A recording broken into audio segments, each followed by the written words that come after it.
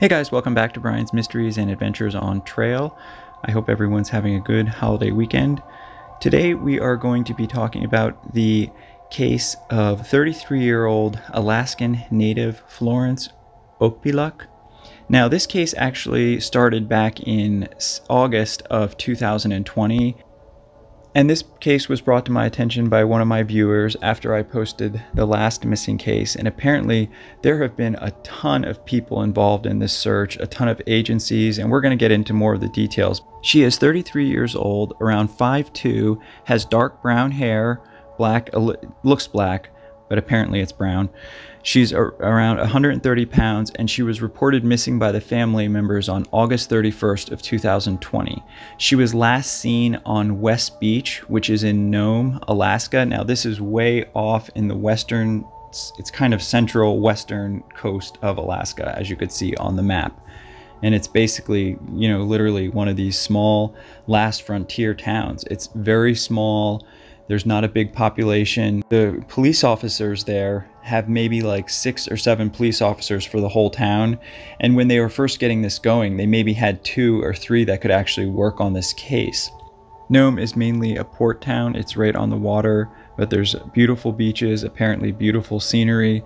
And Florence was living there in an apartment with her boyfriend. Apparently, she also has a very young daughter, six years old. And although Florence was apparently struggling with alcoholism at times. She was very, very close to her daughter and she took very good care of her. She took her out to events. She was always taking her out to fun places. And her friends, uh, Florence's friends described Flo, Flo as very humorous, sophisticated, encouraging, loving, and also very stubborn, which actually you know, if you're stubborn, that can actually be a, a, positive if you're lost because or something goes wrong because it often you know gives you more of a will to get out or find your way back. Her family and friends said that she was always organized and responsible. Florence is the second youngest of se seven siblings, and unfortunately, when they were pretty young in 1998, their father died. So they definitely had a, a rough life growing up, and their family said that you know Florence had to grow up really young. And they said that despite whatever was going on in Florence's life, she was always wonderful about keeping in touch with the family. And so when she dropped out of sight, they knew that this was a huge red flag. Now, Florence's boyfriend called the family to notify her them that she hadn't come back, and that's when they went out looking. They started at all the local restaurants and bars, and they couldn't find her and this is when numerous search and rescue efforts began, including huge community searches, trained cadaver dogs, regular search and rescue dogs, and community organized search efforts actually brought volunteers and funding from across the state, including regional communities like Brevig, Mission, Teller, Wales, Savoonga. And according to the people there, they said it's been the most impressive and most helpful aspect of the whole search. The official search is being conducted by the Nome Police Department with assistance from the FBI Anchorage Field Office, along with Alaska State Troopers. So, even here, it's just a huge effort, and even the FBI has been involved, and they are mainly working to assist by going through cell phone records and cell phone data to try and find answers. And interestingly enough, the FBI got involved shortly after Miss Okpealuk went missing, and it went they got involved even before the request came from the local law enforcement. I don't know, I just found that interesting. I mean, it's great because, like I said earlier, the local law enforcement just doesn't have the manpower. And obviously, the, the FBI does have a lot more manpower and resources. But generally speaking, the FBI doesn't get involved unless there's certain circumstances. If it's uh, the person is a minor, if it takes place on federal land, if the crime or whatever crosses state lines. And there's some other reasons, but it's just they don't usually get involved in just an adult missing persons case. So I just found that interesting. And obviously, it's it's great that they are involved because, like I said, they have a ton of resources. Florence was reported missing. She was actually uh, in a tent on a beach on West Beach. Apparently, this is very common during the summer. Miners and other people that are just there temporarily will go and set up tents and hang out. And apparently, it's just like a nice thing to do. And Florence was last seen in a tent on August 30th, and she was seen leaving the tent. Now, when authorities eventually got to the area where she was last seen, the tent, her shoes and jacket had both been left behind which is obviously not good because in Alaska, the snow and cold weather starts soon and it goes from looking like this to this very quickly.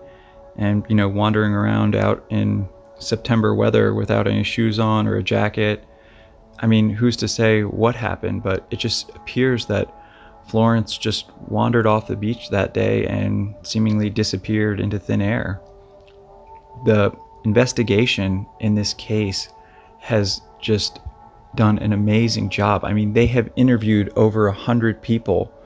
The volunteers and people in the community have gone out daily for months and they have found nothing no leads none of the interviews turned up anything they interviewed friends family members community members and then they also reviewed closed circuit television footage from more than a dozen locations within a several mile radius of Florence's last location, and that turned up nothing as well. And then, despite all of this, even more agencies got involved. Overflights by the U.S. Coast Guard helicopters and boats around the area of the beach, a fire department helicopter, and even private planes.